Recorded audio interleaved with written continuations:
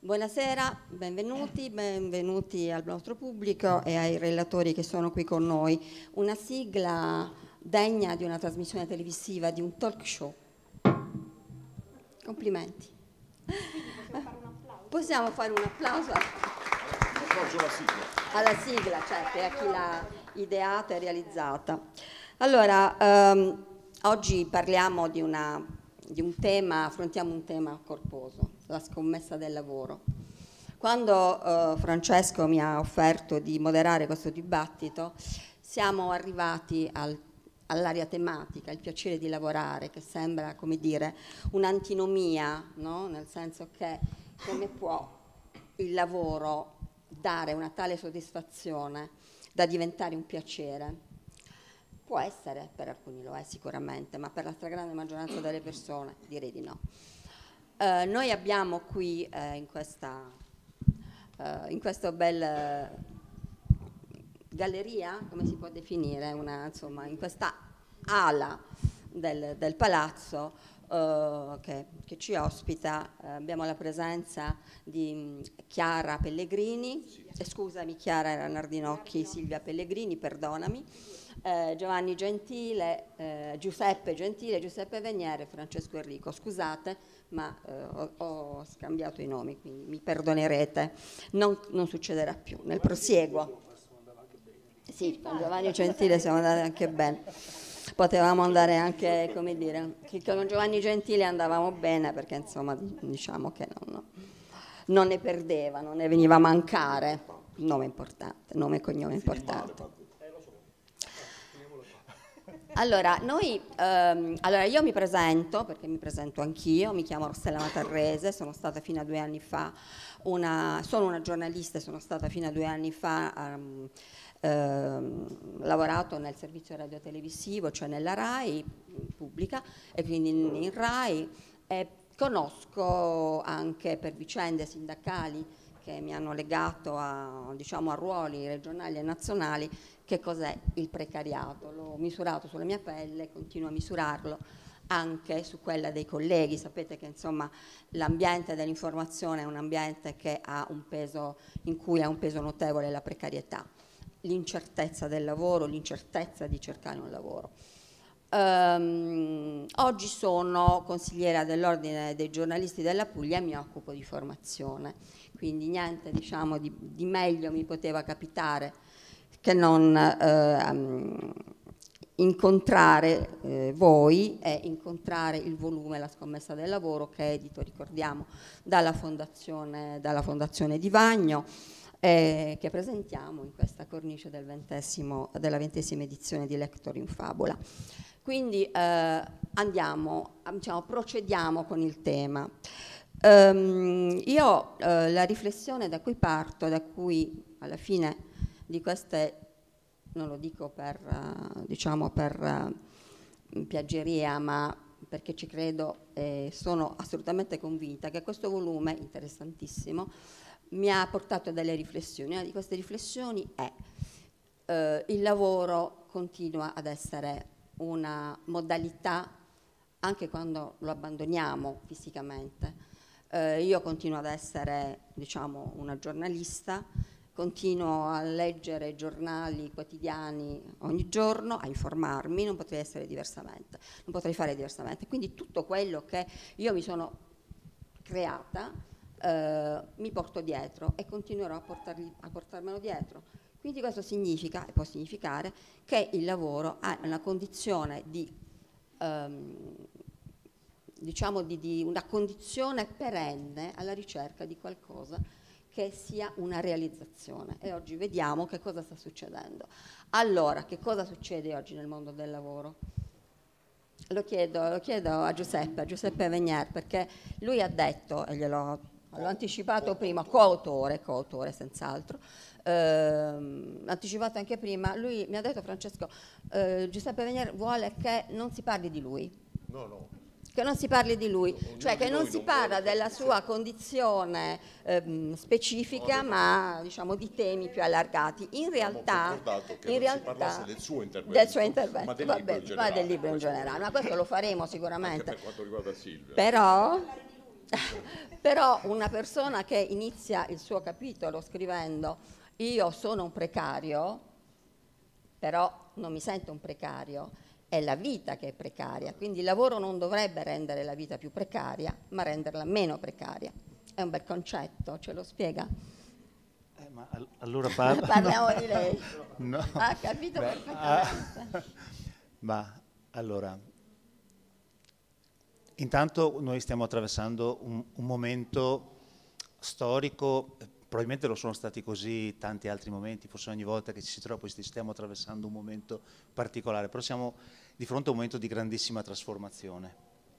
E una trasformazione anche molto rapida, mh, che probabilmente noi stessi ancora non, non siamo in grado di, di, cogliere fino in fondo. Penso alla trasformazione di quando nel 2008-2009, che poi c'era stata la crisi forte, ma o forse due anni prima sono usciti gli smartphone, noi non abbiamo capito eh, cosa stava succedendo, però poi a un certo punto ci siamo accorti che era cambiato tutto rispetto al nostro modo di comunicare. Oggi il lavoro, eh, un po' il Covid che ci ha segnato nelle, nelle relazioni, ma credo sopra, soprattutto una serie di altri fattori anche dovuti a come comunichiamo, sta assumendo un, uh, un valore diverso. Per noi, o forse per quelli della mia generazione, io uh, sono del, del 68, un sessantottino di nascita, diciamo, forse un po', ho qualcosa che mi porto dentro di, quel, di, di, di quell'epoca. E, um,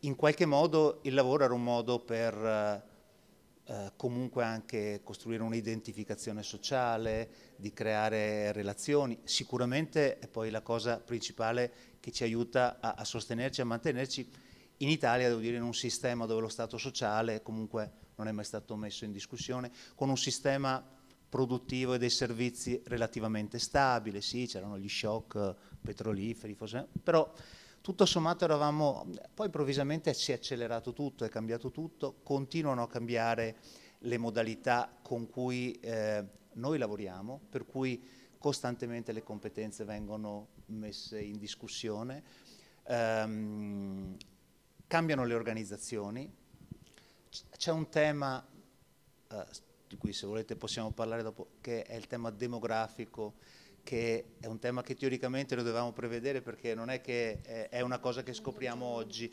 perché la, la demografia ha di bello che insomma è una, è una, scienza che studia degli orizzonti e degli scenari molto lunghi, e però nei fatti noi ci troviamo che oggi probabilmente le persone dovranno lavorare di più, i giovani sono sempre meno eh, e i giovani, e mi piace dire questa cosa perché io mi sono spesso trovato un po' di anni fa a dire noi giovani e adesso sentendomi in molti contesti dire perché noi giovani contro di voi e caspita questo mi mette sempre in crisi eh, e probabilmente hanno dei punti di riferimento, dei, uh, una, un approccio all'identità sociale che è alla, pro, alla loro identità nel mondo che è completamente diverso. E secondo me chiudo questa cosa, nel libro, nelle, nel libro io purtroppo ho letto solo i quattro interventi dei quattro, come dire, de, de, ho fatto il mio, no ma perché quelli avevo il libro, poi fisicamente l'ho, l'ho avuto solo oggi, ma ho avuto il piacere di leggere, oltre che il piacere di lavorare, in anticipo i, gli articoli, i, i pezzi di, di, Francesco Enrico, di, di, di Giuseppe Gentile, di Maurizio Del Conte e di Mirella Giannini, per cui anche tutti insomma, persone di un certo, di un certo periodo, dove il, il, tema ricorrente è quello proprio del, del, del, come ciascuno di noi si approccia al lavoro, cos'è che lo, che lo rende un lavoro attrattivo, cos'è che lo posso scegliere il lavoro, eh, perché sempre di più il, il, il, più giovane vuole, sente il bisogno di dire ma io non necessariamente mi realizzerò nel lavoro, c'è altro, il lavoro è quasi boh, una cosa obbligata che io devo fare e forse un po' eh, io questa cosa la, l'ho letta anche nel, nel, in questa figura che viene evocata di, di, di Bartleby, lo scrivano, che è un bellissimo racconto, romanzo breve eh, o racconto lungo di, di, Melville, che io non conoscevo, che ho avuto l'opportunità di conoscere. Di questa no, anche desiderio di, di ribellione, di cose di mettere in discussione quelli che erano un po' i, i, i i, i, i dogmi, anche, anche, quelli della collettività. E, e, e quindi, dicevo, oggi dobbiamo probabilmente in un mercato del lavoro che cambia, in un mercato del lavoro complesso, dove la tecnologia o le nuove modalità di lavorare stanno, capire come riappassioniamo o come ci riappassioniamo a, al lavoro avendo in mente, e chiudo, che probabilmente, e viene detto in uno dei, forse nell'introduzione, che probabilmente il lavoro è proprio la modalità, o può, e sarebbe bello che fosse la modalità con cui noi invece agiamo nella società civile, quindi una cosa che è individuale e sempre di più sta, individu sta diventando individuale anche per la, perché il lavoro intellettuale ha questo tipo di caratteristica, ma sempre di più potrebbe e dovrebbe recuperare quella dimensione sociale e di capacità anche di ribellarsi, anche di dire no, proprio attraverso il lavoro, per cui è un, è un, un una, come si chiama, call to action, una, che dicono anche ma una chiamata. Cosa. Io volevo, prendo questo microfono perché è più a portata di mano. Allora, eh, ho dimenticato una piccola nota biografica, sennò poi sembra che parlo, volevo solo parlare della mia biografia, insomma, che poco interessa. Ma quanto quella di, di, di Giuseppe Vegner, che eh, è amministratore delegato di Umana SPA, presidente della holding, a cui fa capo Umana, e consigliere di diverse società del medesimo gruppo che si, che si occupa di risorse umane. Vabbè, era una... Sì, prego. Ecco, ancora una, una notizia. No, perché ci siamo in, l'anno scorso, Ottima. sono stato invitato ad un... Eh, sono un po', un po appassionato e innamorato del posto, della fondazione e di questo sì, beh, lavoro. Beh, insomma, lo dico tanto senza piacere perché è veramente beh, Per noi la Fondazione di Vagno, diciamo, per i pugliesi, ma anche insomma, fuori dai nostri confini territoriali e regionali, ha, insomma, è un richiamo molto forte, culturale, ma anche di grande, come, come dire, di grande conoscenza, di qualità della conoscenza, dà qualità alla conoscenza, che non è poco, perché ci sono tante cose in giro, eh, per carità, tutte buone, tutte, però arrivare quasi all'ottimo non è da tutti. Allora, Silvia Pellegrini, andiamo per alternanza di genere, quindi... allora, dal 2011, piccola nota anche per te posso darti del tu sì, eh, biografica, quindi direttrice del Dipartimento. Ah, dal 2021 l'iPad mi ha, scusa, direttrice del Dipartimento del, delle politiche del lavoro, istruzione e formazione della Regione Puglia, ma dal 2020, e questo è giusto, mi pare di ok, viene nominata dal Ministero dei Beni Culturali tra gli otto esponenti di spicco del mondo della cultura che fanno parte del Consiglio Superiore dei Beni Culturali e Paesaggistici. Allora, Silvia Pellegrini ehm, tematizza che cos'è un buon lavoro. Allora, che cos'è un buon lavoro? Beh, un buon lavoro è una cosa a cui aspiriamo tutti, no? Ecco. Eh, però nel, diciamo, quello che anche così come Giuseppe Venier ha descritto, questo scenario sta cambiando e quindi la qualità del lavoro è sicuramente un'esigenza quasi primaria rispetto forse anche alla, mh, a livelli salariali, eh, non dico alle forme eh, di tutela, perché quelle sono quelle che insomma vengono ricercate di più, però anche alla stabilità stessa del lavoro. E, mh, quello che interessa oggi è che il, il lavoro gratifichi e che il lavoro renda felici e che il lavoro ci renda persone diverse da quelle che gli altri riteniamo ci vogliono far diventare. Ecco, ehm, la cosa che mi ha colpito è anche questa mh, del tuo intervento è che mh, la pubblica amministrazione anche in questo ha un ruolo direi fondamentale, ma perché non riesce a capirlo?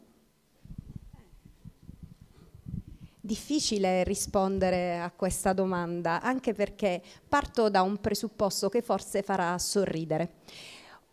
Ho apprezzato tantissimo, l'ho detto a Giuseppe Venier che ho conosciuto oggi fisicamente, ma mi ero documentata prima di venire qui oggi e ringrazio Francesco Enrico per l'invito. E ormai sono anni che sono ospite di questa splendida community library, anche perché questa community library, mi piace ricordarlo, è frutto del lavoro congiunto che è stato fatto, qui vedo il collega, ex collega regionale Rotunno ma amministratore comunale, è stato fatto con la sensibilità dell'amministrazione di Conversano e con la Regione Puglia, un investimento da 120 milioni di euro che ha distribuito e diffuso per tutta la Puglia le biblioteche di comunità come presidi di sapere, di inclusione, di integrazione, non luoghi dove si deve far silenzio. E, è stata una misura che ha consentito e consente ancora oggi perché continuano ad inaugurarle eh, di eh, valorizzare e riempire di contenuti anche beni storici e artistici come, come, questi, che diventano appunto veramente una sentinella di cultura e socialità. Perché dico questo? Quindi perché eh, anche il contesto nel quale noi si, ci inseriamo è fondamentale. Dicevo di Giuseppe Veniere, ho apprezzato il suo intervento in questo libro che oggi presentiamo, La scommessa del lavoro, perché ha parlato della precarietà, che come il lavoro è una condizione sociale. Ebbene, vi farà sorridere, sono precaria anch'io. Quindi tu scrivevi allora a marzo queste note e io mi sento precarissima, chiariamo, anche lui poi alla fine evidenzia, dice vi ho fatto intendere che sono un povero lavoratore, non un rider, perché sono amministratore delegato tra le altre di una società che fa eh, talent scouting di risorse umane, non, non so se è un'agenzia per il lavoro, praticamente sì, e quindi non mi trovo in una condizione di disagio perché mh, la retribuzione che percepisco risponde alle regole costituzionali perché mi consente comunque di reinvestire in tutela e informazione continua che è fondamentale. Anch'io sono nella stessa situazione, nel senso che sono dirigente della Regione Puglia dal 2009, tuttavia legata ad incarichi che variano. Nel 2021 L'amministrazione, dopo un lungo percorso che nasce dai beni culturali, perché sono stata per oltre 14 anni dirigente dei beni culturali e quindi ho avuto la fortuna di pensare anche a questo intervento, oltre alla tutela dei beni ecclesiastici, la valorizzazione degli archivi, la street art, abbiamo fatto tante cose con i fondi europei della, diciamo, intermediati dalla Regione Puglia, nel 2021 sono stata eh, insignita di questo incarico dopo essere stata membro del Consiglio Superiore dei Beni Culturali. Ho visto qui in giro il professor Volpe, del quale ho preso immeritatamente l'incarico, perché quando il professor Volpe è diventato consigliere del ministro Franceschini, la Puglia mi ha dato questo incarico. Ebbene, da direttore del Dipartimento l'incarico dura tre anni. In realtà da contratto dura tutto tutta la legislatura. Però la, il governo regionale ha deciso di metterlo a bando a maggio. Ebbene, qualcuno l'avrà letto sui giornali, da maggio andiamo avanti di proroga in proroga, per carità ne sono felice, quindi ho firmato l'ottavo contratto di proroga in attesa di capire dal bando chi sarà il nuovo direttore, non so, io mi, mi sono ricandidata ovviamente il governo deciderà perché questo è un incarico da, da spoil system e quindi ho pensato che la mia presenza oggi fosse calzante rispetto al tuo intervento perché come vedete in tutti i ruoli, anche in un ruolo comunque che mi dà sicurezza e certezza perché resto un dirigente regionale, però sì, sono giuridicamente precaria. E questo comunque crea una situazione di incertezza e incide molto di più dell'incertezza eh, la stessa che denotava Venier, perché c'è un problema di mh, incidenza nel, nelle mh, attività che si portano avanti. In che senso? Io sono un direttore di dipartimento neocostituito, con me è nato il Dipartimento del Lavoro, un dipartimento dedicato alle tre politiche che sono focali e che devono procedere parallele, lavoro, formazione e istruzione unito all'università.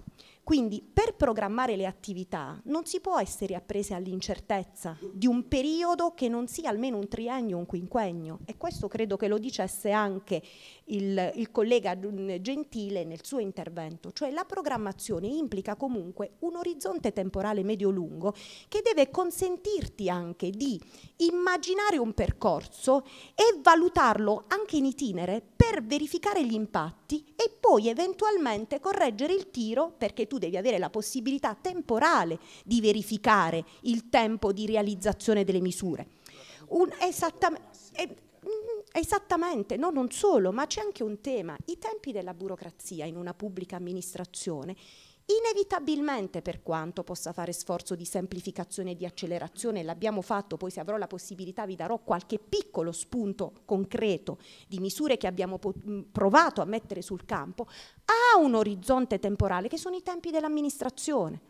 Per quanto ci sono amministratori illuminati, sia locali che dipendenti regionali, che poi ci credono perché hanno la passione di lavorare e quindi sono legati al loro lavoro, nonostante tutto, è ovvio che il tempo diventa un fattore determinante. E quindi da qui deriva quella precarietà che anche la frustrazione di avviare percorsi che poi non vedi realizzati, anche quando non è solo l'incertezza o la precarietà dello stipendio. E, Dall'esame che ho potuto fare, il mio è un piccolo contributo, ringrazio ancora Enrico per avermi ospitato in un libro che ospita Del Conte, che è stato presidente dell'AMPAL, e un giurista, o ha ospitato nel piacere di lavorare Vozza, eh, eh, ospita Giannini, ospita altri, eh, Giannini e Gentile però mi ha dato la possibilità di indagare questo eh, criterio, questo eh, indice che ha usato l'istituto Listat per i BES,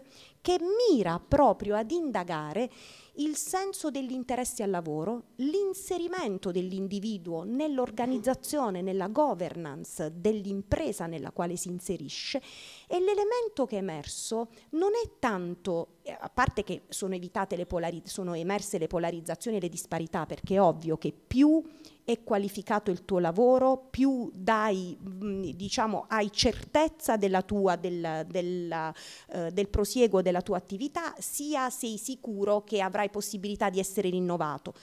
Ciò che eh, colpisce è che eh, che rende il, ehm, il, lavoratore non contento è la possibilità di carriera e la flessibilità nel cambiare il lavoro, cioè la circostanza che uscito da un ambito lavorativo ci sia l'incognita di poter trovare in tempo un'altra attività, perché spesso le competenze che si possiedono non sono spendibili. Ed è questo il grande problema che noi stiamo affrontando. Quando si dice oggi la parola magica, perché noi in Italia andiamo per mantra, il problema del mercato del lavoro, che è ancora tutto da costruire, non è detto che esista, su questo ne abbiamo già discusso, e non è detto che mai consenta di incontrare domande e offerta di lavoro, perché tanto non si incontrano mai, è la formazione.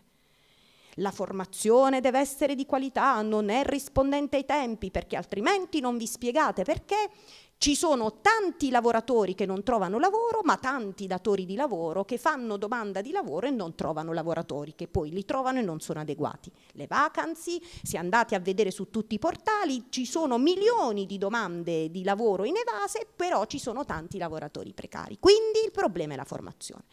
E io mi permetto di rispondere Innanzitutto il problema non è la formazione, se dobbiamo, dobbiamo, dirla tutta, è l'istruzione.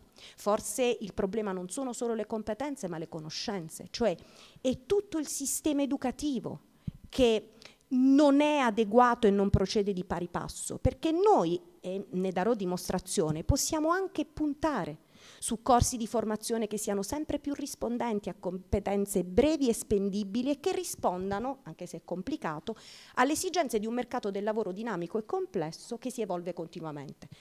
Ritorniamo ai tempi della burocrazia. Io immagino un profilo aggiorno l'Atlante o il catalogo che è vetusto, immagino ciò che l'imprenditore vuole, l'imprenditore è già andato via, perché nel frattempo ha già cambiato indirizzo perché si è dovuto adeguare alle regole del mercato e quel profilo che mi aveva richiesto e che io comunque ho dovuto immaginare, eh, strutturare, mettere a bando in un sistema di formazione, in una competenza esclusiva che in Puglia conta, lo ripeto sempre, 330 entri accreditati su 440 sedi, un comparto produttivo, finché l'ho messo a terra il profilo e ho i primi eh, diciamo, eh, formati, l'imprenditore che li voleva non c'è più. E quindi dobbiamo immaginare, e mi fermo perché se no non do la possibilità agli altri di parlare, ma spero in, una, in un secondo turno, il problema è immaginare un sistema educativo che vada in parallelo col sistema di formazione e che parte per assurdo dall'orientamento, dal sistema eh, di accompagnamento delle famiglie con i bambini e che ha visto trasformare quella che si chiama conciliazione, io odio questo termine, come la Querzè dovremmo parlare di equilibrio tra vita e lavoro, non conciliazione. I buoni di conciliazione non esistono più perché sono diventati voucher di istruzione. Lo 03 rientra nel sistema universale dell'istruzione e quindi la partecipazione dei bambini al, alle attività dei nidi e delle, delle scuole dell'infanzia sono attività di istruzione necessarie che rappresentano il primo obbligo del pubblico. E quindi concludo, siamo partiti da cosa deve fare il pubblico e la pubblica amministrazione per garantire un buon lavoro? Per arrivare a dare una risposta, perché questo è un tema di politica pubblica e quindi è normale che la pubblica amministrazione, che ha come mission la soddisfazione, il soddisfacimento dell'interesse dei cittadini, perché esistiamo per questo, non siamo autoreferenziali se vogliamo fare il nostro lavoro, dobbiamo immaginare un sistema che per approdare al lavoro deve partire dal sostegno delle famiglie, dall'attenzione all'equilibrio vita-lavoro, da una maggiore occupazione femminile che significa riconoscimento dell'importanza del lavoro delle donne che oggi possono fare la differenza perché rientrano in quel target di occupabili che si riduce sempre di più sostenere quindi la partecipazione già dalla giovane età dei bimbi nei contesti di comunità perché imparano a vivere insieme e il vivere civile, costruire un'istruzione che sia rispondente ai bisogni poi del mercato del lavoro in modo che la formazione sia l'ultimo tassello e che sia veramente il ponte tra un buon lavoro e un lavoro di qualità che, che prevede quindi che la domanda sia corrispondente all'offerta. È una cosa di una complicazione unica, ma con una visione politica e strategica che immagina un percorso che procede parallelo integrato, probabilmente qualche risultato si avrà e quindi misure come il 4 più 2 dell'istruzione che parte quest'anno. Abbiamo previsto questa eh, nuovo, in Puglia, in Italia sono 172 gli istituti che partivano quest'anno con il sistema appunto integrato dell'istruzione tecnologica superiore, l'istruzione professionalizzante, eh, l'idea del potenziamento delle ITS Academy che in Puglia sono 10 e che sosteniamo fortemente, che hanno un livello di placement enorme, il sostegno di corsi di formazione anche in azienda con stiamo sostenendo le comunità formative aziendali, che sono un'altra iniziativa di Olivettiana eh, Memoria, che mira a sostenere in azienda delle divisioni che creano questa rete che potenzia le imprese coesive, forse riusciremo poi a garantire anche un buon lavoro. Grazie, grazie a Silvia Pellegrini. Giuseppe Gentile, Giuseppe Gentile, professore di diritto del lavoro all'Università Federico II di Napoli, giuslavorista esperto di politiche del lavoro e politiche sindacali, avvocato, consulente in gestione del personale, relazioni industriali, ha pubblicato, leggo e quindi mi fa piacere anche sottolinearlo, più di 70 tra articoli, saggi, opere scientifiche sulla disciplina del diritto del lavoro dello Stato sociale delle relazioni industriali ed è componente del comitato scientifico, come appunto ricordava Francesco, del centro studi Il piacere di lavorare. Allora, Giuseppe Gentile, da un lavoro all'altro, e un tempo pensare di lasciare un lavoro stabile, un posto fisso, era quasi inimmaginabile, no? c'era anche una condizione eh, familiare, eh, sociale, che ti costringeva a non fare queste scelte, era una scelta difficile e se, dovessi, se riuscivi a farla la pagavi sulla tua pelle. Oggi le cose stanno cambiando, eh, lei parte dal, dal, PNRR, dalle possibilità che si aprono attraverso eh, queste, questa, questa capacità fortissima di, di, mettere miliardi in un sistema come, come, il nostro, però anche garantendo la transazione digitale, la transazione ecologica e anche la, diciamo una, una transazione occupazionale e quindi una, una capacità di turnover, di eh, captare le nuove generazioni, dando anche però la possibilità a chi mh, mm, è stanco di portare il peso di un lavoro che non piace, di accompagnare diciamo, l'uscita, un'uscita graduale e piacevole eh, verso la quiescenza, come, come, si usa dire. Ma ehm, questo però, sottolinea anche lei, ha bisogno di una forte capacità di relazionarsi con i corpi intermedi. Oggi i corpi intermedi sembrano che facciano un po' acqua o almeno li si accusa di non aver fatto, sto parlando dei sindacati, di non aver fatto il loro dovere fino in fondo, di aver eh, difeso un corporativismo che oggi diciamo, potrebbe sembrare assolutamente desueto, antico, vecchio. Sì, tante cose. Buonasera a tutti. Um, piccola premessa, io ho smesso di essere precario da un anno più o meno con la, con, la, con la, chiamata in cattedra in Federico II dove insegno e dove sono felice di insegnare. Uh, sì, io nel, mm, restiamo diciamo, confinati nel, nel, mio intervento, nel mio articolo, affronto più questioni. Uh, ho affrontato uh, quel trend che credo abbiate un po' tutti letto in questi anni del fenomeno delle grandi dimissioni o delle dimissioni di massa che si è registrato a valle del, del Covid, dell'esperienza del Covid che un po' ha segnato anche i comportamenti sociali delle persone.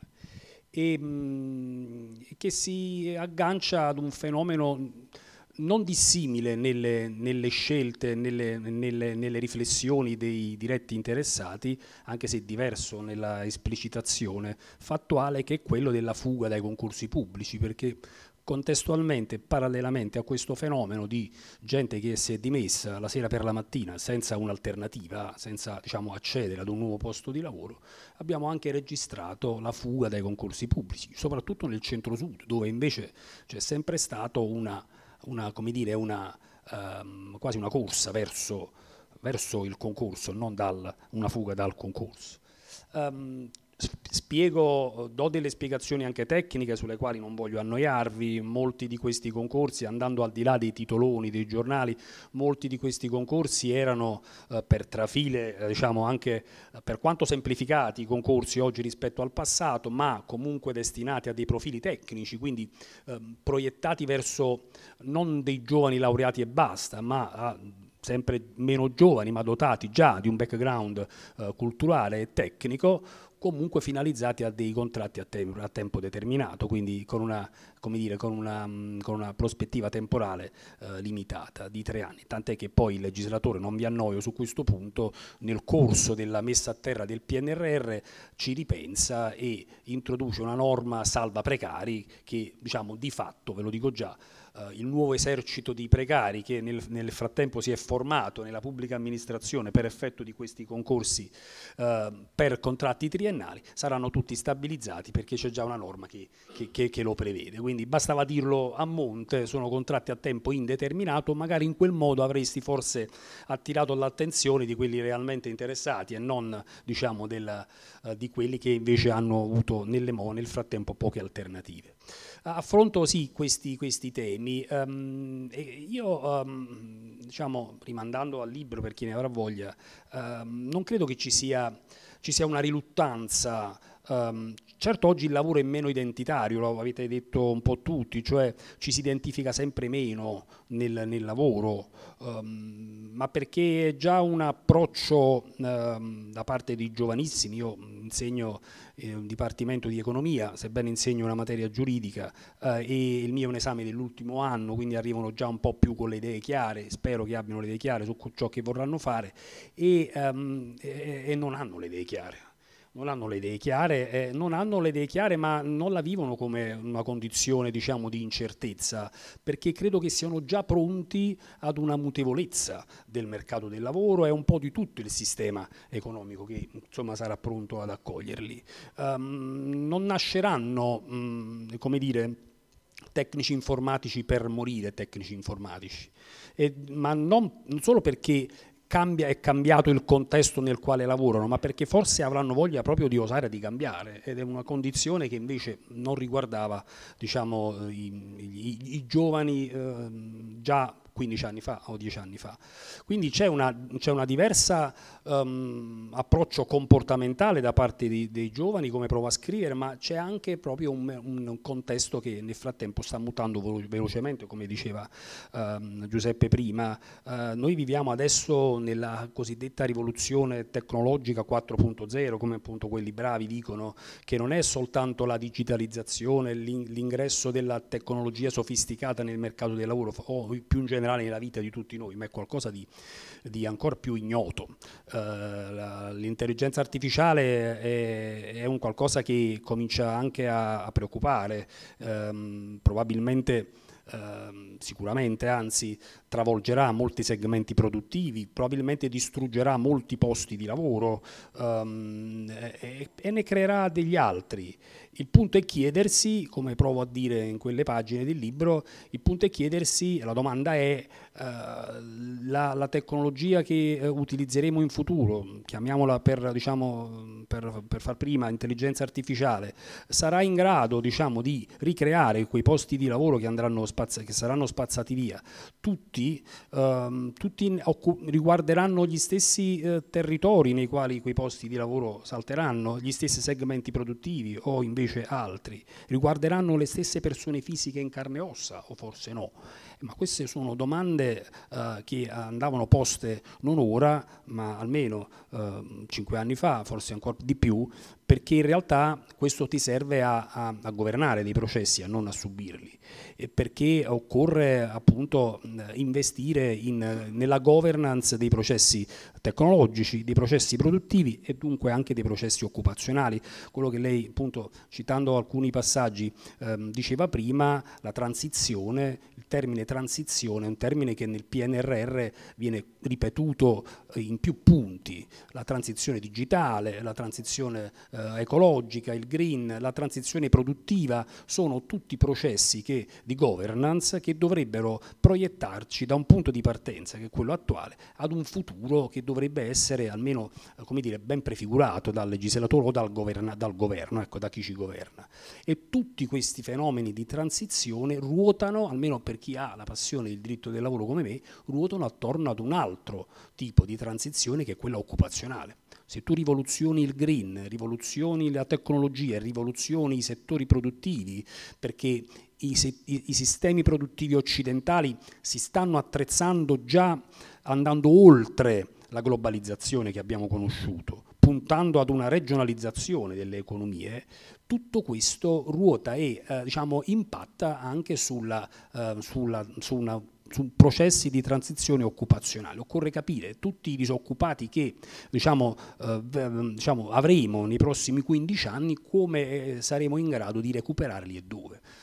In che modo? Certamente sulla formazione, capitolo eh, centrale, eh, non come quella che abbiamo conosciuto e che stiamo adoperando ancora oggi sia per numeri che sono risibili, sia per contenuti formativi. Se non cominciamo a chiedere alle imprese che, che, uh, quali figure, di, quali, di quali competenze mh, diciamo, professionali hanno bisogno, di modo, in modo da anche rivedere e riaggiornare i repertori professionali regionali che sono anch'essi risibili, e a, tu come fai? A, insisti ancora con dei modelli di formazione senza diciamo, senza poi arrivando a quei fenomeni di che tu evocavi prima, di skill shortage, cioè hai delle sacche di disoccupazione in alcune aree geografiche e produttive e invece delle domande inevase di occupazione eh, altrove. Eh, questo impatta su, e torno al punto di partenza, impatta anche, eh, in tutto questo poi impatta anche il comportamento dei giovani, i quali, come diceva prima Giuseppe, danno un valore al lavoro oggi che non è identitario, è un pezzo della loro vita vita, ma probabilmente non è nemmeno il pezzo più importante della loro vita oggi. Magari lo sarà quando avranno una famiglia, mm, vorrei, se la avranno anche lì o se metteranno nella mutevolezza della loro esistenza anche, anche la famiglia. Però di certo non è un elemento centrale. E questa roba qui, cioè della che possiamo tradurre in quella riluttanza a cui facevo riferimento prima, ma che è soltanto sintomatica, non, è, non sono riluttanti nel loro essere, però ha mandato in cortocircuito il sistema delle imprese, che per la prima volta si sono sentiti traditi dai lavoratori se ne sono andati dalla sera per la mattina, lasciando alcune realtà aziendali prive, prive delle risorse, forse anche delle migliori competenze. E questo è un bene, perché un po' riequilibra certe, eh, certe, certi squilibri che, poi, che ci sono sempre stati fino ad adesso e che ancora ci sono in alcune aree produttive, uno squilibrio di poteri tra le parti del rapporto, intendo dire, però poi crea quel fenomeno di individualizzazione eh, del mercato del lavoro che evocavi tu prima, eh, cioè io decido per me eh, negozio per me, non ho bisogno di nessuno che negozi per me, che butta fuori dalle, dal, dal sistema delle relazioni industriali i corpi intermedi e in realtà indebolisce nel lungo termine i lavoratori. Questo è.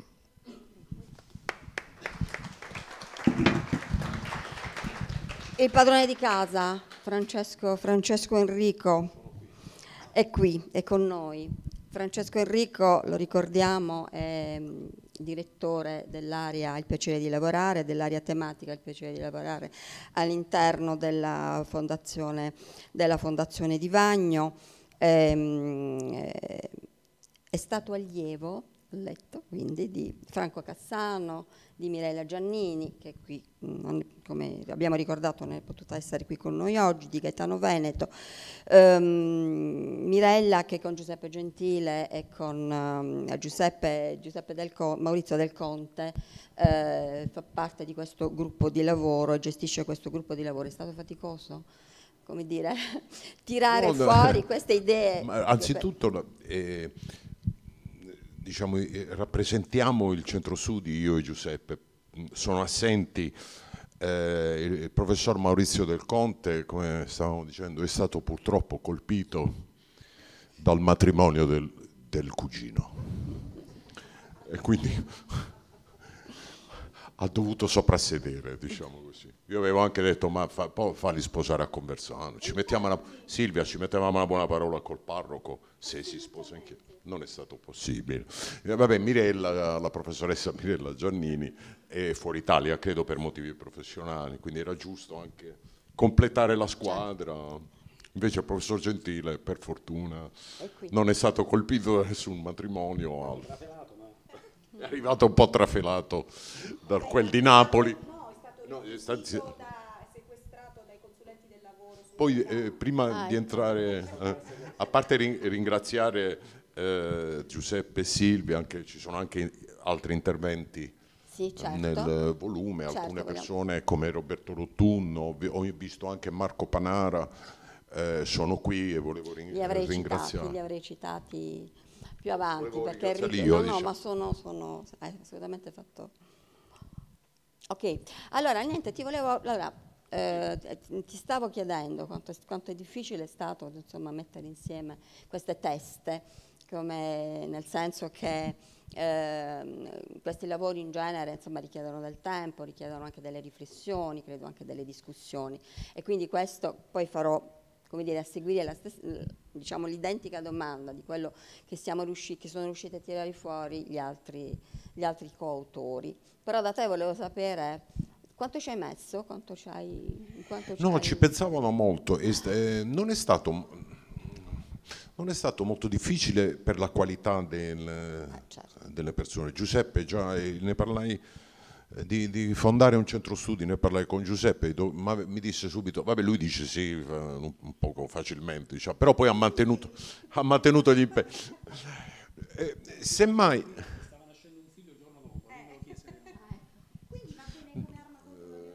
arma poi abbiamo allargato le nostre attività e questa è la nostra prima pubblicazione. Eh, allora, Rossella, sai cosa è stato ed in parte è più difficile? Eh, divulgare la mia e la nostra idea di, di lavoro. Perché le politiche del lavoro sono quelle su cui ci si divide in maniera ideologica e questo non va bene si pensa che possano essere dinamiche governate con slogan. Non è così. Oppure come si usa in Italia, Silvia, tu che sei un'amministratrice pubblica, facciamo una legge. Facciamo una legge. Sai, eh, l'efficacia della legge in tema di politica del lavoro, la legge sui diritti fondamentali è importante che siano regolati per legge, ma il resto arranca, diciamo così. E io infatti nel, nel primo rigo della mia monografia cito una frase di Herman Melville, che mi, apro così la mia monografia con questa frase di Herman Melville, pare ci sia una ragione in tutto, perfino nella legge e, e, quindi eh, non è, questo non è stato facile, me ne, me, ne, me ne, rendo conto e non è ancora facile. Eh? Perché faccio un esempio, anzitutto io credo che bisogna guardarsi intorno e guardarci negli occhi. Quello che noi abbiamo voluto fare anche con questo volume, lo, dico nella, lo diciamo nella sinossi, è una descrizione di scenari, ma anche un volume di speranza noi non dobbiamo mai arrenderci a che le cose devono andare come, come devono andare e che il futuro sarà solo oscuro. Non ci credo, non mi rassegnerò mai, anche nel lavoro. Perché quando, quando eh, eh gli spazzacamini non esistono più, c'è stata qualche tragedia, sono stati nuovi lavori, meno faticosi più meglio retribuiti. Eh? I maniscalchi non esistono. Si pensava ad un impoverimento generale, questo non significa che non ci siano problemi, eh, voglio dire, ma io mi fermo, voglio, voglio dire, il mio intendimento, il nostro intendimento con questo volume, Giuseppe, era la speranza. Ce la possiamo fare. Le democrazie occidentali ce l'hanno sempre fatta e ce la faremo anche questa volta. Eh, guardiamo la, la, la precarietà, vabbè, quando si parla di precarietà adesso non abbiamo il tempo, bisogna cap capire di cosa si sta parlando. Il contratto a tempo indeterminato è la forma di assunzione ancora prevalente. Di cosa stiamo parlando? E nulla è per tutta la vita, cioè io contesto, non io, il mondo in cui viviamo mette in discussione l'eternità dell'evento che è il rapporto di lavoro. Il concetto di eternità è rifiutato dal nostro modo di vivere. E perché, domandiamoci, un contratto a tempo indeterminato, un contratto stabile, mediamente dopo 6-7 anni, o sbaglio Giuseppe, non c'è più perché dopo 6-7 anni succede qualcosa. Succede, attenzione, succede qualcosa per volere dell'impresa, nei limiti consentiti dalla legge, o per decisione del lavoratore o della lavoratrice. Succede qualcosa. Si spostano i capitali, si spostano i progetti industriali, si spostano le persone. Non dobbiamo aver paura. Noi abbiamo troppa paura perché i problemi non si possono affrontare con, con il timore, ma con un approccio serio, con riforme serie, cercando di analizzare cosa ci, man cosa ci manca, cosa facciamo un evento una volta, cosa ci impedisce di lavorare? Forse c'era per Giuseppe, non ricordo. Cosa ci impedisce di lavorare? Perché nei paesi del nord Europa non c'è questo problema? Quindi non è un problema antropologico. Qualcuno l'ha risolto, lo ha risolto. Non si risolvono mai del tutto i problemi del lavoro. Allora io dico che ogni, ognuno di noi, ogni pezzo di società, che sia lo Stato, il legislatore, che, sia, che siano le organizzazioni sindacali, i, cioè i corpi intermedi, che siano gli intellettuali, che siano ovviamente le rappresentanze politiche che determinano gli indirizzi politici, ognuno ci deve mettere del suo, ma se non facciamo un'analisi, come dire, distaccata, in fondo qualche volta bisogna anche imparare dagli altri e non avere paura dei cambiamenti. Cioè qualcuno poteva pensare che l'aristocrazia vorre- eh, eh, no, venisse spazzata via dalla rivoluzione francese. No, però è successo. Però è successo. Qualcuno poteva pensare, poteva pensare che un giorno i lavoratori avre- avrebbero avuto quella garanzia che si chiama statuto dei lavoratori. Qualcuno poteva pensarlo quando si morivano nelle miniere, però ce l'abbiamo fatta. Ci siamo riusciti. No, non l'hanno tolto, non è vero. Non è vero. Vabbè, questo ci vorrebbe un dibattito a parte, no? Eh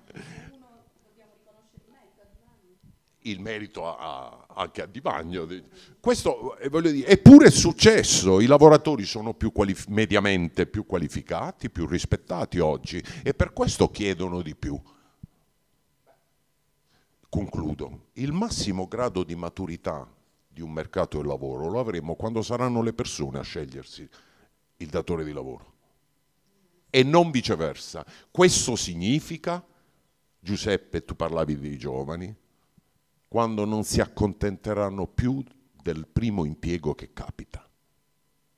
Come è possibile questo? A parte la cornice sociale, economica, legislativa, in ragione della loro qualificazione professionale, che regala loro una forza, regalerà ai giovani una forza, come dire, è un passo più spedito nell'operare le scelte verso quella serenità, quella che noi abbiamo chiamato il piacere, il piacere di lavorare.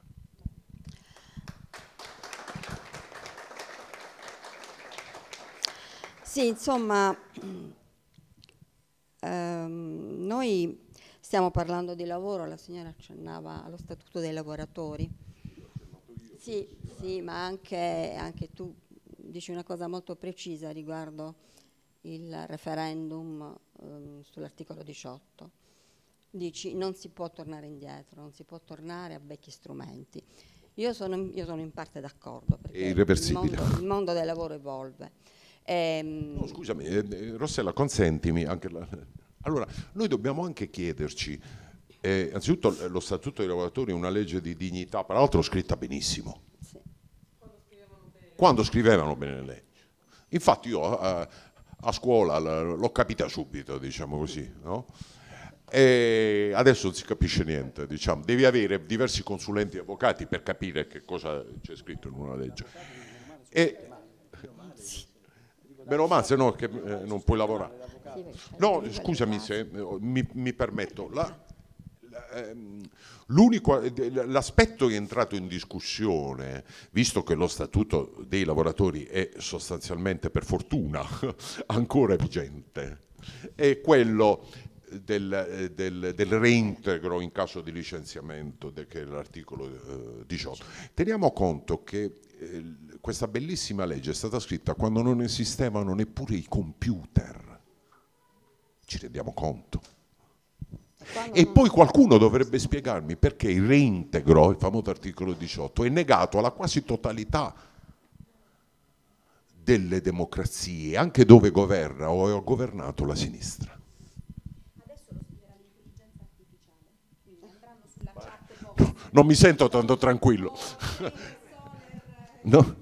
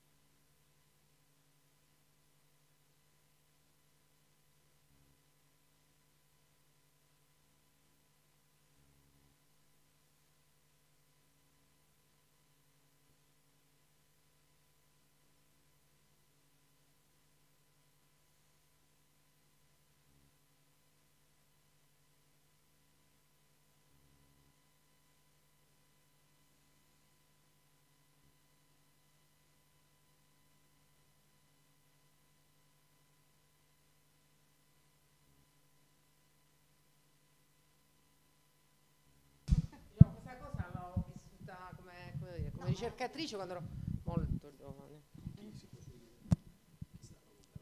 Con Mario Giovanni. Esatto. E, e quindi praticamente facciamo questa ricerca sul, sugli esiti eh, del licenziamento ex articolo 18 presso il Tribunale di Bari.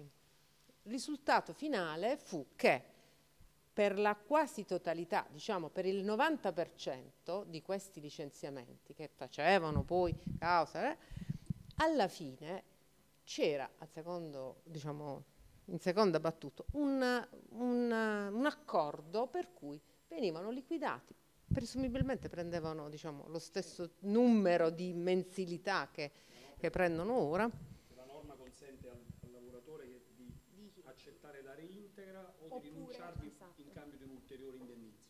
E lo prendono tutti l'indennizzo, perché tu puoi, tu puoi lavorare in, una, in un'azienda dove comunque altrimenti no, è corretto, è, è corretto. e quindi no, io, già succedeva. Guardi, io ecco. penso questo, eh, adesso esprimo un pensiero volutamente eh, estremizzandolo ma sicuramente comp comprenderete eh, lo spirito della mia osservazione. Allora, il rapporto di lavoro è prima di tutto una relazione sociale, prima ancora che un contratto. Io credo, io penso che se la regolazione di questo evento della nostra vita, che è un rapporto di lavoro, sia troppo lasciata a giudici ed avvocati, c'è qualcosa che non funziona. Esatto, chiaro. si, potrebbe, si potrebbe continuare a dibattere su questo... Certo, è vero, è vero. Sì.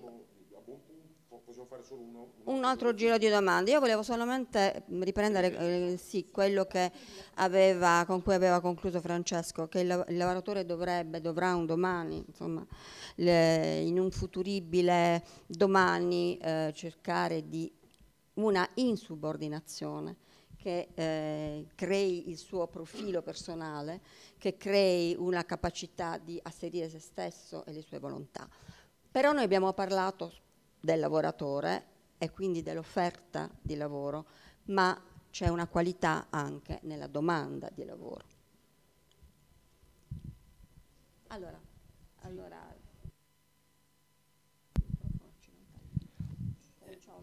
Eh, una, sì, ehm, si pone, si pone, il tema dell'efficientamento dei sistemi produttivi e si pone il tema della, delle competenze e della qualità della domanda di lavoro.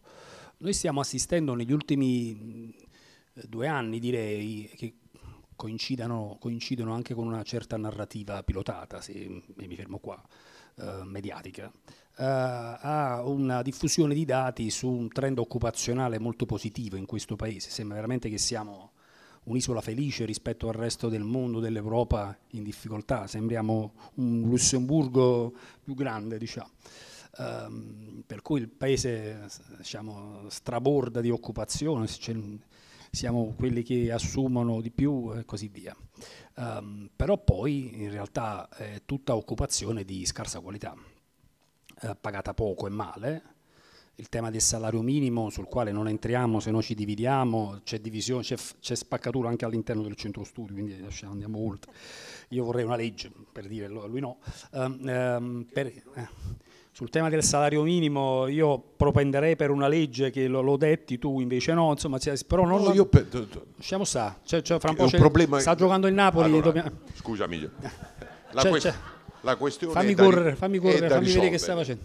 È sicuramente da risolvere non si possono tollerare alc alcune paghe orarie. Sì, no. Poi bisogna trovare lo strumento sì, migliore. No, sì, era, era soltanto un, diciamo, era una sponda senza affrontare il tema per dire che si pone in modo veramente eh, diciamo, urgente eh, un tema della qualità del lavoro che in questo paese non, cioè, forse è quello centrale, è quello che ruota anche attorno al discorso che stavamo facendo prima perché la uh, domanda di qualità che non c'è, la domanda di lavoro di qualità che non c'è, poi eh, si traduce nella, diciamo, nell'ansia di cercare un lavoro sempre migliore da parte dei giovani. E i giovani o anche quelli meno giovani cambiano e sono alla continua di ricerca di, un, di una occupazione che li appaghi eh, e non puntano né alla stabilità né ad una retribuzione adeguata, puntano a dei trend di qualità che fanno fatica a ritrovare nel contesto lavorativo che loro propongono, che è quello appunto di eh, avere forse anche un discorso legato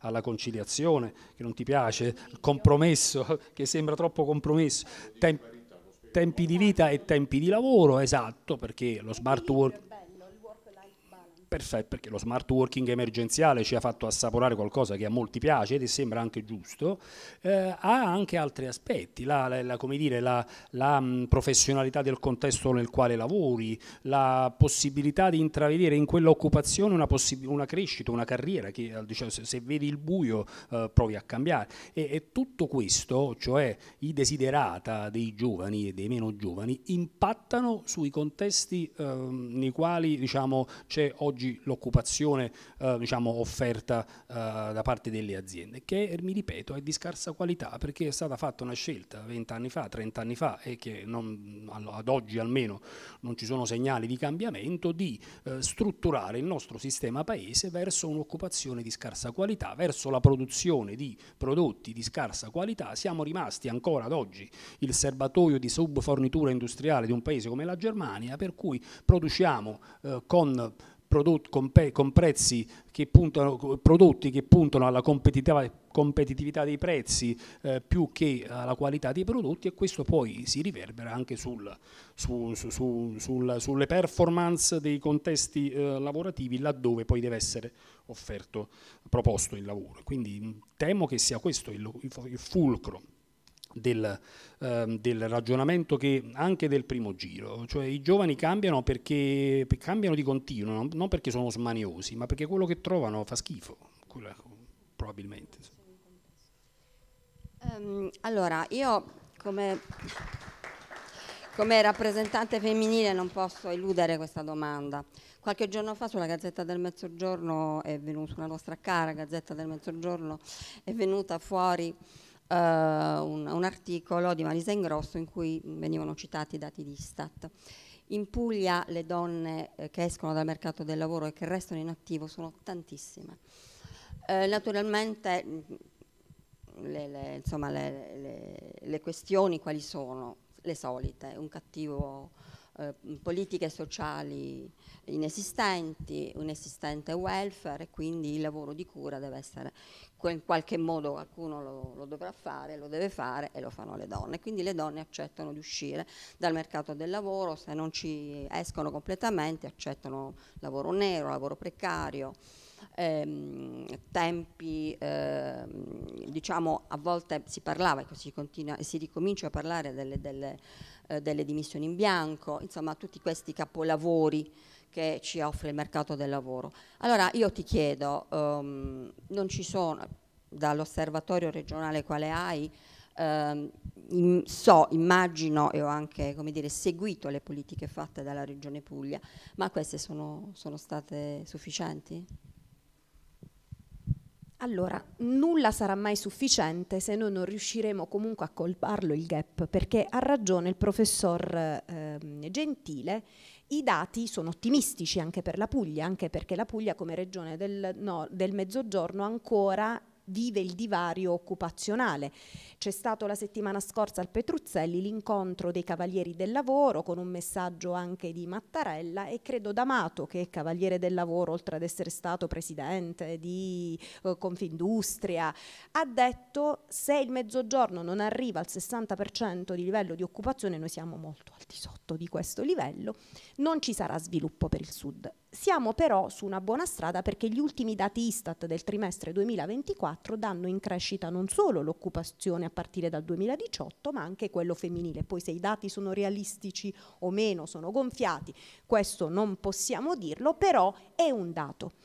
È ovvio ora ci arriviamo. Il problema è che sicuramente se partiamo dal dato, donne giovani sono la platea di lavoratori e lavoratrici ai quali puntiamo anche per le politiche regionali per colmare anche il livello di occupabili, perché la fotografia della popolazione che abbiamo è che l'occupazione cresce anche perché si riduce la popolazione degli occupabili che sono comunque compresi tra i 15 e i 64 anni. Noi abbiamo, oltre al, al fattore denatalità, che in parte era, no, sicuramente era prevedibile, ma la Puglia perderà entro il 2040 390.000 unità e saranno sicuramente non gli over 65, anche perché si dice che il sistema sanitario non funziona, però poi voi mi spiegherete com'è possibile che in Puglia, soprattutto in alcune zone della Puglia,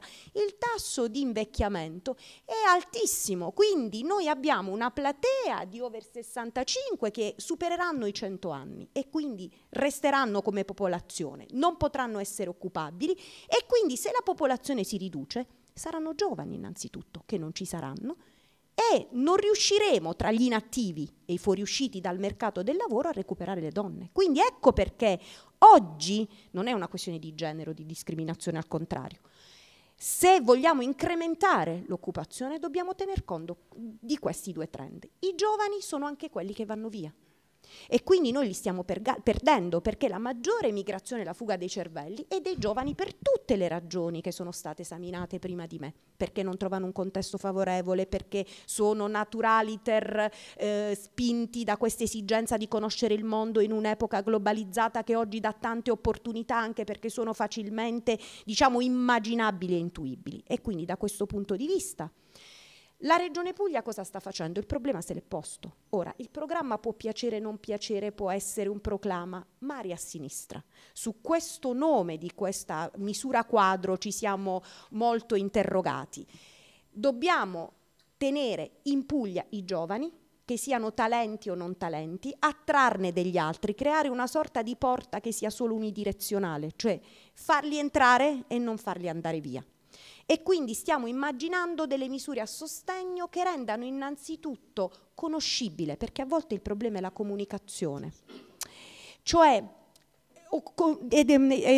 difetto di informazione della qualità dell'informazione, perché spesso comunichiamo ma male e non col linguaggio dei nativi digitali.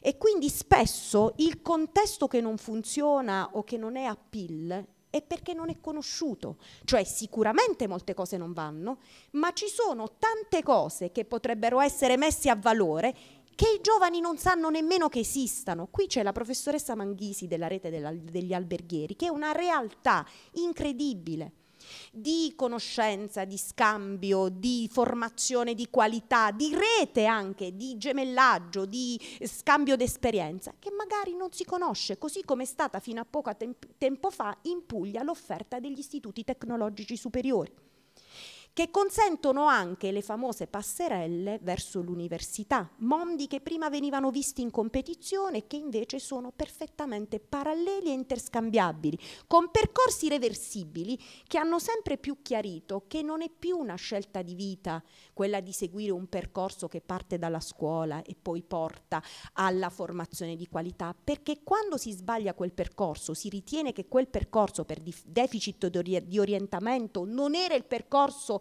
corrispondente all'attitudine, quel percorso può essere cambiato in qualunque momento perché come si dice per ogni porta che si apre c'è un portone, che si chiude c'è un portone che si apre, ebbene i percorsi sono assolutamente interscambiabili e quindi questo significa predisporre una strategia che guarda i giovani per mantenerli in Puglia. Le donne. È ovvio che c'è un problema di riqualificazione spesso di reskilling o upskilling e di riconquista della platea femminile, quando soprattutto eh, c'è il superamento della eh, cioè la disoccupazione di lunga durata che riguarda soprattutto le donne la fuoriuscita dal mercato del lavoro e sono per lo più over 55. Non a caso ho colpito i tre segmenti di un programma che il professor Gentile e anche il professor Enrico conosceranno bene, ma anche se un'agenzia per il lavoro Giuseppe Venier, che si chiama GOL, che è stata la grande scommessa del PNRR, garanzia occupabilità di lavoro, multimisura, esattamente come garanzia giovani, che per mole quantità di finanziamento, stiamo parlando di un programma di 4,4 miliardi di euro, cui si è aggiunto un ulteriore miliardo e due per il piano competenze nazionale, competenze e transizioni e per il potenziamento dei centri per l'impiego. Questo programma, e siamo a due anni, se voi guardate il monitoraggio nazionale vi spaventate perché anche qui però mi sembra che l'idea che siamo in ritardo, perderemo i fondi, che non siamo stati capaci, che l'Italia va a due velocità perché la Lombardia ha già praticamente fatto tutto, le regioni del mezzogiorno sono tutte fanalino di coda. Tenete conto che questa doppia velocità è un problema perché il programma per la prima volta tiene insieme tutte le regioni e se una regione fallisce cadono tutte le altre perché il programma è a regia nazionale e i target e i milestone che riguardano le regioni che sono fanalino di coda condizionano anche la tenuta per quelle più virtuose.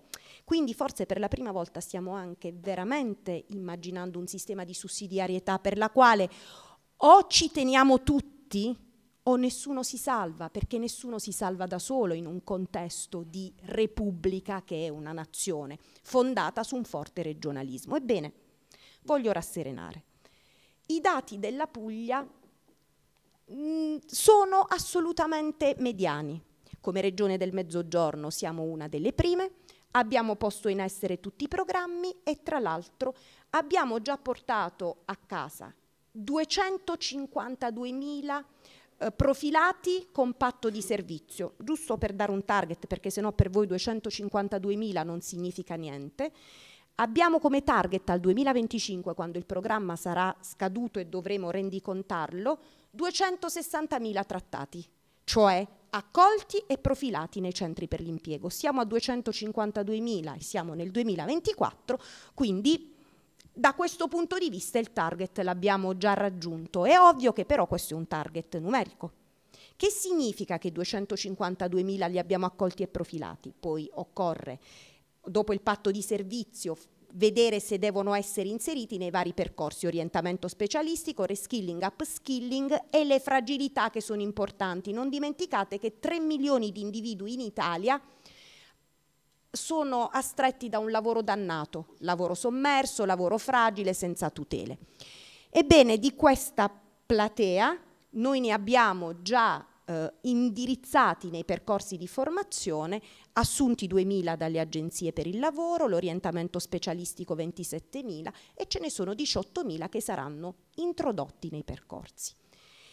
Il programma GOL guarda un altro dato fondamentale, le tre categorie, disoccupati di lunga durata, donne over 55, se no nei numeri non si raggiunge il milestone, il target, quindi se fossero tutti uomini o tutti giovani, ci sono ovviamente anche 15-29, non avremmo raggiunto l'obiettivo. Allora, stiamo andando avanti, crediamo fortemente nell'importanza e nel perno che le donne rappresentano in Puglia per fare leva nel lavoro. E chiariamo un'altra cosa, non, eh, qui la Querzè mi avrebbe dato sicuramente ragione. Ovviamente non si tratta di reskillare o upskillare, quindi portare di nuovo ad un'occupazione di medio-basso valore, perché le donne hanno dimostrato un grande valore aggiunto, lo dico da donna, in occupazioni anche di alto rilievo, di grande valore, anche perché c'è una propensione che portano nel lavoro, un portato, quel lavoro di cura è una tacit skill che può diventare anche un upskill, cioè un grande valore. Quindi è ovvio che regione, una regione come la Puglia si è posta il problema, sta operando in tal senso, sta sostenendo la rioccupazione delle donne perché ne fa una leva del proprio sviluppo e quindi speriamo in un prossimo incontro di potervi dare dati e numeri di questi risultati. grazie. Grazie, grazie Silvia Pellegrini eh, quello, il suo intervento mi ha richiamato, ha richiamato, alla mia mente quello che sta succedendo insomma, in, nostra, in, questo nostro paese. Le riforme. Le riforme eh, diciamo, sono discusse, sono fonte di polemica, sono fonte di critica. Da uomo del nord, da Veneto, l'autonomia differenziata, secondo lei, cambierà qualcosa in questo contesto nel mercato del lavoro? Lei è uno di quelli pro Contro o neutro? O neutro? Ma una domandina così... Ma, insomma, No, non c'entra quelli. ma allora, mm, al di là che E su... deve anche essere conciso perché alle 7 dobbiamo finire, quindi Sì, era sì. Una, mia, una mia curiosità. Sì, sì, c'è un grande, c'è un grande, di- c'è un grande dibattito anche con, eh, in questo momento da Veneto con il Friuli e con il Trentino Alto Adige che hanno, Fra di voi. diciamo. beh, fra di noi insomma, ma insomma, che hanno delle posizioni, eh, poi faccio una battutaccia, io sono di Venezia e mm, già uno di Venezia, degli del Veneto, ma insomma, aspetta, io sono di Venezia e quindi insomma, ma come, e, e probabilmente non lo so, e- e- no, nel ma noi anche di là del, del Ponte della Libertà, come, insomma, eh, per cui no, eh, dicevo eh, su questa cosa, il Friuli eh, ha una posizione contraria al Trentino Alto Adige, leggevo proprio in questi giorni alcuni esponenti del Trentino Alto Adige, dice ma no, eh, perché non utilizzare, insomma, a parte che hanno anche autonomie e regimi diversi fra di loro e quant'altro, ma c'è la posizione della, della Todde, de- della Sardegna e così via.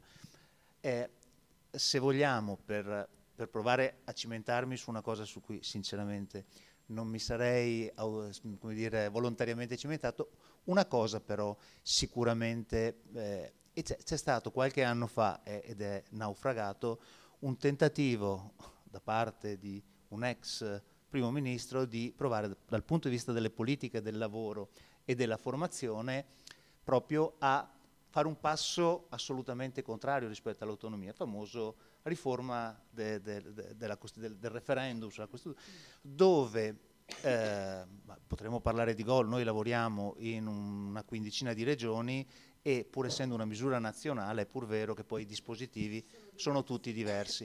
Come ogni tanto mi domando, mh, perché lavorando un po' in giro per il paese, ogni tanto mi chiedo, ma, ma Mantova è in Lombardia, è in Veneto o è in Emilia Romagna? No, so che è eh, in Lombardia, anche se, anche se i mantovani non si sentono lombardi, soprattutto perché c'era, eh, il, il Granducato, insomma, però mh, mi domando in quella zona eh, che, c'è lì, che noi a Venezia diciamo la bassa, no? quindi tipo l'Esine che va verso Ferrara, che va verso... eh, che uno nasca eh, in un- in un- a distanza di 10 km può capitare con delle politiche e, d- e delle tutele, un mercato e delle regole del mercato del lavoro che sono fatte dalla regione Emilia-Romagna, dalla Lombardia o dal Veneto. E, e- no, e, e perché? E io mi domandavo poi questa cosa, adesso posso dirla anche più facilmente perché quando capitava in qualche dibattito pubblico dove c'era o l'assessore al lavoro de- della regione Emilia o quello della- del, del Veneto, eccetera, dovevo stare a- beh, con, la, co- co- co- con la- con la- con la Donazzana, stavo attentissimo perché, insomma, perché eh, giustamente se gli dici ma perché in Emilia Romagna fanno questa cosa, Eh, aspetta un attimo, come in Emilia Romagna fanno questa Allora no, questo lo dicevo per dire, mh, ogni cosa ci sono gli aspetti positivi e gli aspetti negativi. Sicuramente oggi si parla no, di LEP, di livelli essenziali delle prestazioni che valgono per la sanità, ma valgono anche per il mercato del lavoro. Allora, il tema, e, e- e me ne esco, è il fatto che poi le persone, mi riallaccio a una cosa che, che diceva Francesco, fra l'altro faccio un inciso, scusatemi, rispetto al- all'intervento che ha fatto prima Silvia, eh, che io sposo, eh, sposo, sposo largamente, eh, vi consiglio di leggere il, il- il- il pezzo che c'è qui dentro di- della professoressa Giannini perché dà proprio un, visto che non c'è e visto che dà proprio un focus sulla, proprio fra l'altro sulla parte della disparità, sulla parte della disparità retributiva, da cosa dipende, di genere, e insomma era solo un inciso, no, ma mi riallaccio a, a quello che diceva Francesco, il fatto mh, eh, della scelta. Oggi c'è già un, eh, e forse ha a che fare anche, anche con, con l'autonomia differenziata e con queste cose qui. Ehm, oggi c'è già un adagio fra chi lavora nel nostro settore, tra i cosiddetti recruiter, chiamiamoli così, che quando finisce un colloquio par- uno si alza e dice le farò sapere. Tendenzialmente le farò sapere oggi eh, è più facile che lo, lo dica il candidato, che, quindi c'è già questo, è un adagio, dico un adagio perché poi è, è una provocazione, non e non dico, ma nei fatti siamo ancora molto distanti evidentemente dallo scenario che illustrava Francesco, però l'idea che noi lavoriamo, e questo secondo me ha incidenza anche sulla qualità della domanda, perché costringe l'impresa rimettersi in discussione, perché se uno si alza, gli sto offrendo un lavoro e mi dice le farò sapere, eh, probabilmente io mi devo mettere in discussione. Fra l'altro, se qualche volta uno può dire, bah, le farò sapere, chissà che non mi fa, si faccia più vedere perché non l'avrei mai scelto ma non è necessariamente così. Allora, credo che però perché uno possa scegliere, alzarsi, quali sono le caratteristiche che fanno sì che questo possa esercitare questo potere di scelta? Perché, eh, lo, lo, diceva nel, nel, primo intervento Silvia, eh, se noi non mettiamo a disposizione, noi e vuol dire eh, istituzioni, ma anche imprese, dei servizi di welfare e di equilibrio, mi piace il termine equilibrio, eh, tra vita e lavoro, è evidente che siamo scoperti e probabilmente, probabilmente, noi abbiamo un'azienda che è femminile, per cui è un tema con cui mi confronto da, ormai da 25 anni, probabilmente la possibilità di scelta tra lavoro di cura, genitorialità e carriera professionale eh, evidentemente rimane una non libertà di scelta, una cosa con cui uno deve poi confrontarsi. Ma così se io non ho le informazioni, se magari non ho in mente quali sono le opportunità nell'area turistico-alberghiera dove non si fa lo smart working, ma dove però dove si lavora il sabato, la domenica, si lavora di sera, si lavora alle feste comandate, quindi si lavora quando gli altri si divertono, però dà anche tantissime altre soddisfazioni, però devo conoscere, devo potermi sperimentare, così se non ho in mente cosa vuol dire lavorare in una fabbrica che, mi, che penso ancora magari a tempi moderni e poi magari scopro che lì sono con i camici e cose del più pulito e magari della stanza dell'albergo a quattro stelle dove, dove si va. Per cui oggi per eh, facilitare questa libertà di scelta noi dobbiamo sicuramente rafforzare le, la qualificazione che una persona deve avere ma che deve farsi e riprendo il tema dell'orientamento, in funzione delle proprie capacità e delle proprie aspirazioni. E qua l'orientamento va fatto, va fatto la possibilità che le persone anche magari facciano delle esperienze di lavoro regolare quando ancora stanno studiando, protetti, assicurati, eh, insomma vogliamo parlare, eh, io insomma PCT, PCTO è una, è una brutta, è una parolaccia, è una parolaccia, però però ad esempio parliamo, parliamo de, de, del duale, parliamo dell'apprendistato, cioè parliamo di forme dove insomma è, è che si fa molto nel settore turistico, insomma no, noi stessi lo, lo, lo usiamo. Eh, vediamo che ci sia la possibilità anche di conoscere le regole del mercato del lavoro. Noi abbiamo una pubblicazione, si chiama Rispettare le regole per farsi rispettare, perché naturalmente è vero che la legge non risolve tutto, però è anche vero che dobbiamo alzare la qualità della contrattazione e della, regola e della regolarità dei rapporti e se probabilmente dalla parte dell'offerta di lavoro c'è una possibilità di alzare la qualità perché scelgo e perché quindi, uh, come dire, posso anche rifiutarmi come Bartleby no? e dire no, preferirei di no probabilmente la domanda, e questo sta già succedendo anche nel pubblico, dovrà riadeguarsi e da un circolo vizioso entriamo in un circolo virtuoso che forse è, quello, è quella speranza a uh, cui prima Francesco chiamava. Francesco, sì, qualche minuto le conclusioni. Abbiamo fatto una bellissima discussione, direi alta discussione.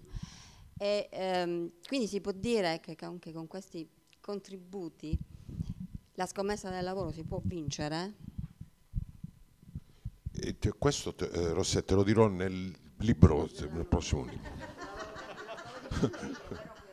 Intanto giochiamola. Ha già un altro titolo in me. Non lo so, ma insomma va fatta la scommessa del lavoro, della qualità del lavoro.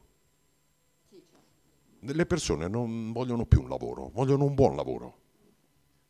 Vogliono un lavoro di qualità che sia riconosciuto non soltanto, guarda, guarda eh, Rossello, eh, lavorare una scelta che coinvolge l'individuo, ma ha uno spessore di carattere etico e sociale, perché non siamo soli a questo mondo. Le nostre scelte coinvolgono le nostre famiglie, coinvolgono gli altri. Quindi è una, cosa, è una scommessa complessa.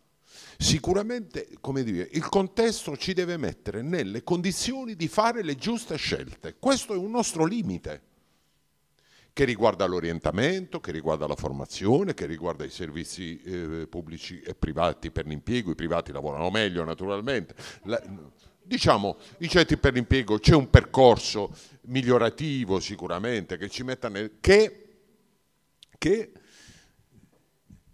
i livelli salariali non siano quelli che abbiamo, perché se no le persone se ne vanno. E io dico un'altra cosa, Silvia, Guarda che i conti, i conti se li sta facendo anche la Lombardia, che non è più attrattiva come era una volta. E queste persone vanno all'estero. O meglio, le persone vanno dove il loro sogno si può realizzare. Ed è giusto che sia così. Allora noi dobbiamo superare la caratteristica del nostro mercato del lavoro, il job lock mi tengo un lavoro che odio perché suppongo di non avere alternative. Ma è vero, siamo sicuri che non siano. Io dico sempre che nella vita un'alternativa c'è sempre.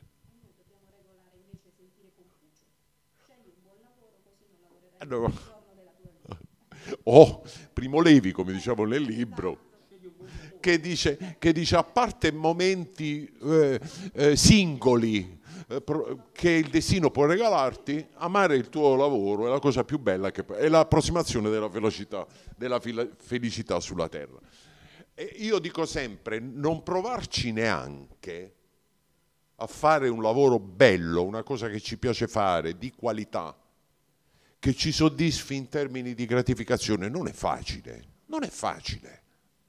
Io dico che non provarci neanche non è un segno di realismo, ma solo di resa. E noi non ci dobbiamo arrendere, i nostri giovani non si devono arrendere. Perché da qualche parte e a determinate condizioni, e qui rientra anche la qualità della classe manageriale delle imprese, a determinate condizioni e ovviamente nel rispetto dei diritti fondamentali di tutti i lavoratori e di tutte le lavoratrici, perché non possiamo ammettere discriminazioni, nessun tipo di apartheid. Detto questo, a determinate condizioni, la scommessa, io penso che i nostri giovani la devono, la devono fare. Nel prossimo libro vediamo com'è andata. Abbiamo citato Roberto Rotundo credo di averlo citato. Sì, sì che ha scritto un ottimo, eh, un ottimo intervento. Marco Panara, non so se è andato via, ha scritto un altro intervento molto bello. Chiara Nardinocchi eh, era prevista, mi ha chiamato... Eh, no, non, non, è andata al matrimonio di cugino di Maurizio, ma mi ha detto Francesco, era veramente molto dispiaciuta, si scusa con il pubblico, perché lei, che è gruppo G di Repubblica, è stata trasferita al settore eh, esteri. No? E eh, scrivere, no, è di questi tempi il settore esteri, piuttosto impegnativo, diciamo così, e il, capo, il suo nuovo caporedattore ha detto sabato e domenica tu devi stare qui, non puoi andare a conversare. Eh, esatto.